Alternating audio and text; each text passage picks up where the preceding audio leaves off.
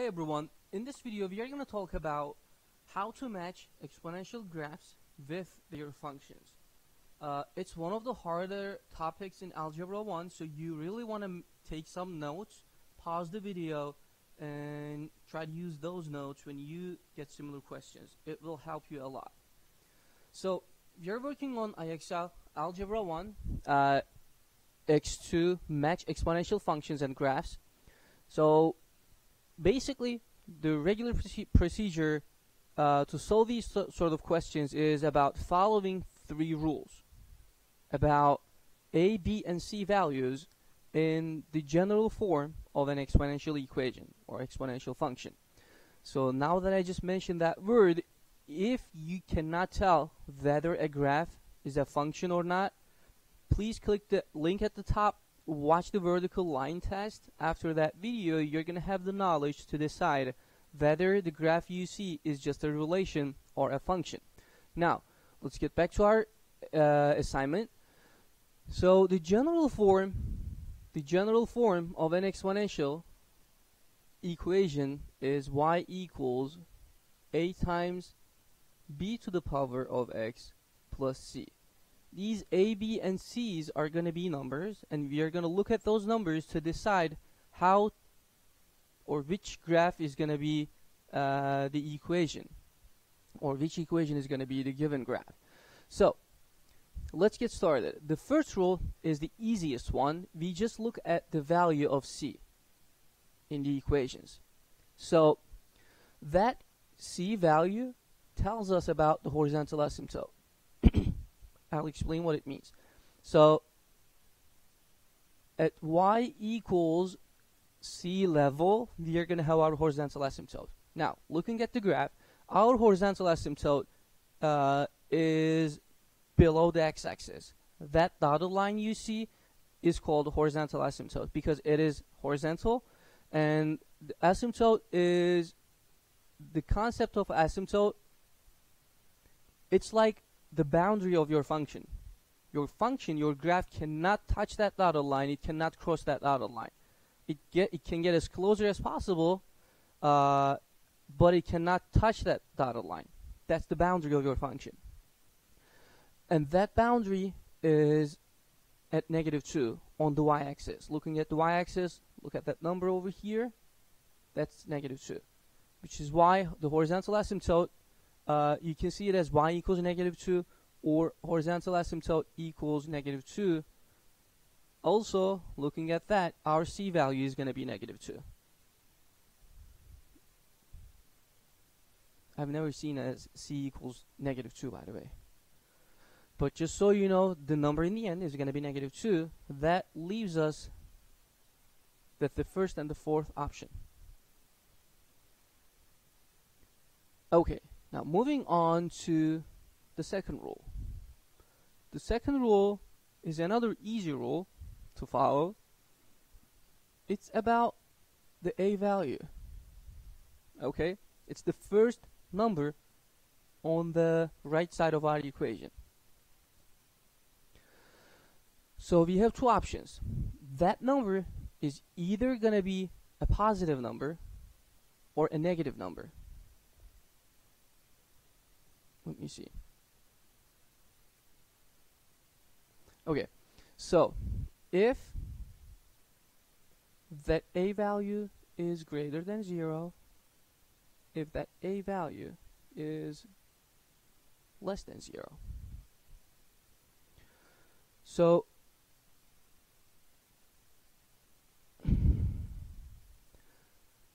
these two tells us if our graph is going to be above the dotted line or below the dotted line.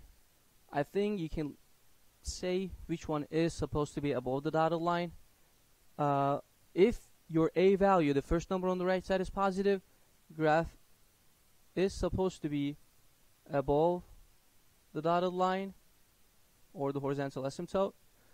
Uh, if that number is negative, then graph should be below the dotted line or below the horizontal asymptote. Now look at your graph. The blue graph, the blue curve is below the dotted line.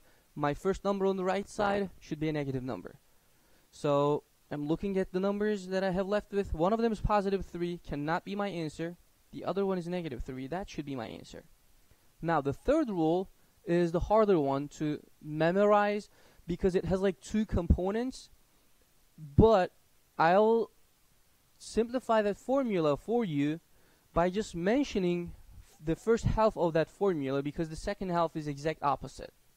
And you can just use that first half to decide which answer should be your answer.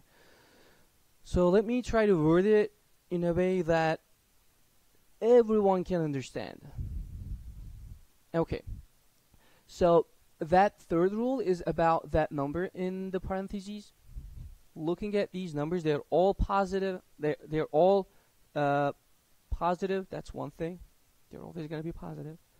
Uh, two options. That number is either going to be between 0 and 1, which is going to be usually a fraction, uh, but sometimes you can see it in the form of a decimal, but in many occasions it's going to be a fraction. So if this is the part that I want to memorize, okay, this is the part that I use to decide if the graph matches with my equations. So if that b value is between 0 and 1, I'm not talking about what happens if the b value is greater than 1 because if I just use this phrase, the rest is going to come easily. If that b value is like 0.5 or 1 third or 1 fourth, 1 fifth, then as we go right, let me see, as we go right, the graph is going to get closer to the horizontal asymptote.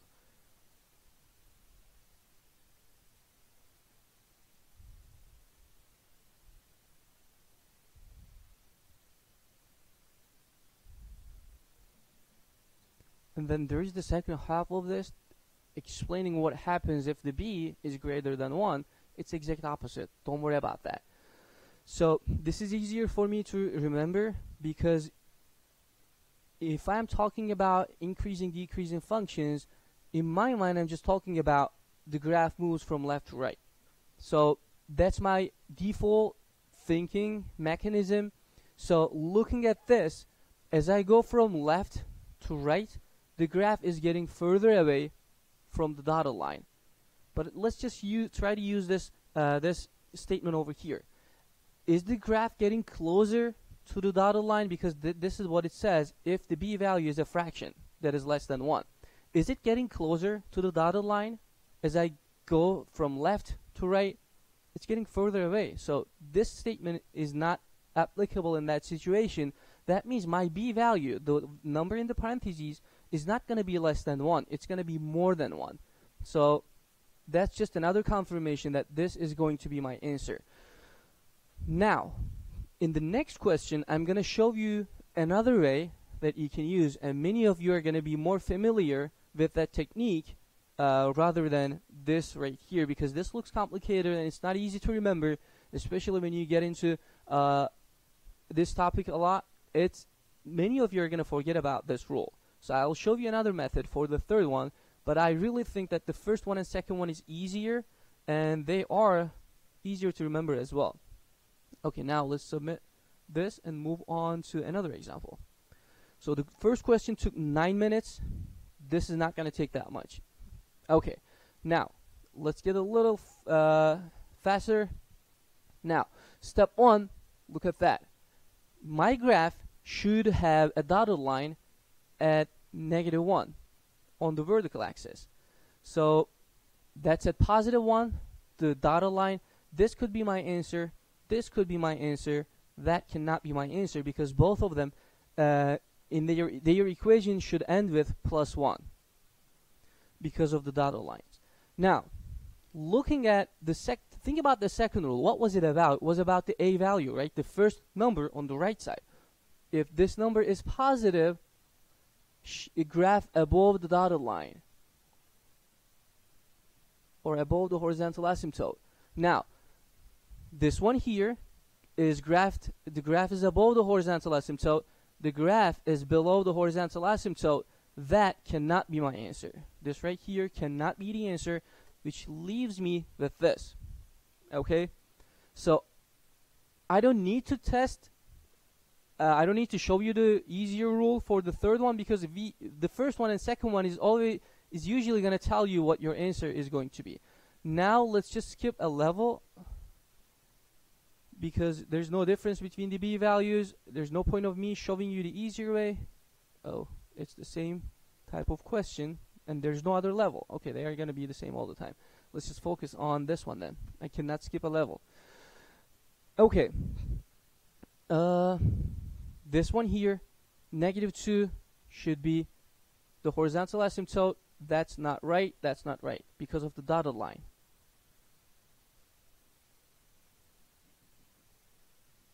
Now, the graph is below the dotted line. My A value is going to be negative.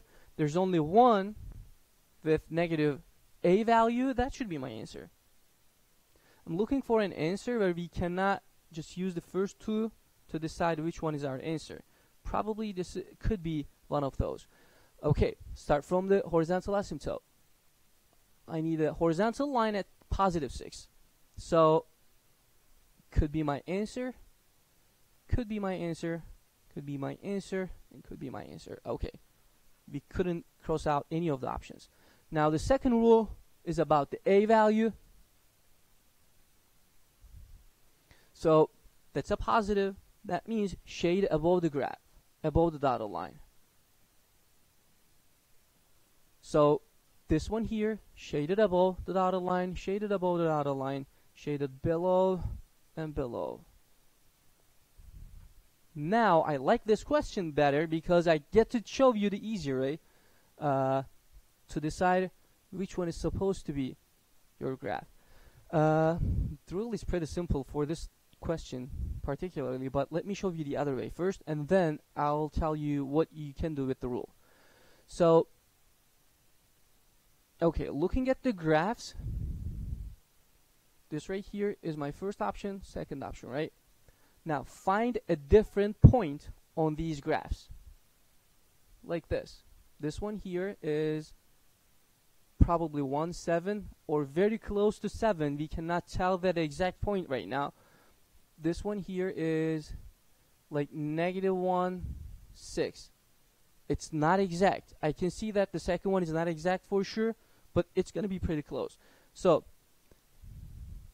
oh, let's let's not do that. Let's let's plug in the same number for x. Let's plug in 1. So, this graph goes like that, right? So, basically if I plug in 1, my value is going to be like greater than 10, right? The y value, the answer is going to be greater than 10. Let's plug in 1 for x and see what happens in our original equation. y equals 1 third to the first power plus 6. This is what happens. So the answer is going to be 6.3. Repeating. 6.3 repeating is going to be my answer if I just do 1 third plus 6. And which one do you think is going to be the answer? This one is greater than 10. This one is closer to 7, close to 7. So, of course, this is going to be my answer because obviously 11 or like that's probably like 20 or something on the graph. And my answer is supposed to be 6.3 repeating. So, the first one is going to be my answer. So, this is what you can do instead of applying the third rule because that's again is complicated. But in this case, it's not as complicated as you think it might be because that's a value between 0 and 1, right? So as I go from left to right, so as I go from left to right, uh, left to right, the graph will get closer to horizontal asymptote. That's the part that I keep in my mind. I don't worry about the other health. Uh, so looking at the graph, from left to right, this is getting closer to the dotted line. From left to right, this get this is not getting closer to the dotted line. So that would be my answer. So that's your two A's. And let's do one more. Okay, negative 6 is my horizontal asymptote. Uh, this could be my answer. All of these could be the answer. That didn't help. Now let's work on our A value. Graph below the horizontal asymptote. So that is not below the asymptote, not below the asymptote, yes and yes. Okay, now let's check the third rule out. Uh, looking at my b value in the parentheses, this tells me as I do this movement on the graph, uh, closer to HA, horizontal asymptote. That's what I want to see on the graph. As I move from left to right, I should get closer to my dotted line. I had two options left. This right here, from left to right, it's getting closer to the dotted line, but it's not going to touch. And this one, as I go from left to right, it's getting further away from the dotted line. That means my answer is going to be this right here. Uh, again, this is a complicated topic at first, but as you get familiar with the first and second rule, you're going to figure out many of these questions uh, without any help or critical thinking. The third rule could be harder uh, with, uh, on some occasions. In those cases, you can plug in a number and see if that number, that x and y value, is on your graph. Or you can think about the b values. Uh, let's just do another practice. Look at your graph's behavior from left to right. Is it getting closer to the dotted line? It's not getting closer. That means the b value is greater than 1. b is greater than 1. So it's either the first or the second one because these two are between 0 and 1. They tell you as you go from left to right, you got to get closer to the dotted line, but that's not the case with our graphs. So horizontal asymptote is at positive 3. Uh, these are both the same. Negative, shade below, or graph below the dotted line, shade or graph above the dotted line. Uh, our graph is below the dotted line, so that means our option, the answer is going to be this one right here. That's how quickly you can solve these questions as you get familiar with uh, the three rules that you have. Uh, thanks for watching. Let me know if you have any questions, guys. And comment below if you think the video helped you out with your assignments. And I will see you in another video.